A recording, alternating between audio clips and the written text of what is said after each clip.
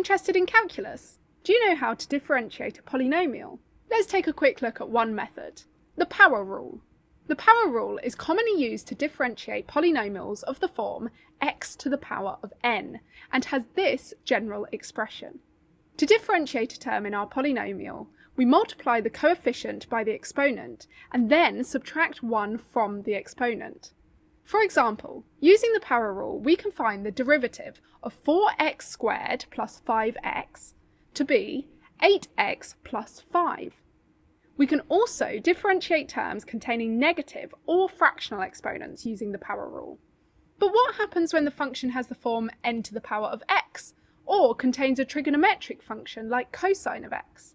We then need to use a different method. If you want to find out which one and learn more about the limits of the power rule, then sign up to our AP Calculus sessions at NAGWA classes.